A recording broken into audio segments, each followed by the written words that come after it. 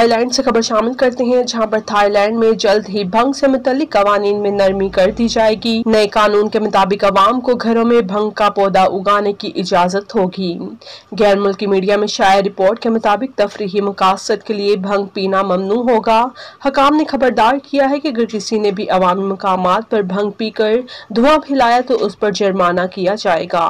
Thailand की हुकूमत भंग और चर्च के पौधों को मंशियात की फरहिस्त से निकाल देगी। सिर्फ़ कम नशाब और भंग की काश्त को कानूनी करार दिया गया है। पौधे से कुशीद करदा वो अज्जा जो लोगों को मदहोश कर दें, बदसतूर गैर कानूनी रहेंगे।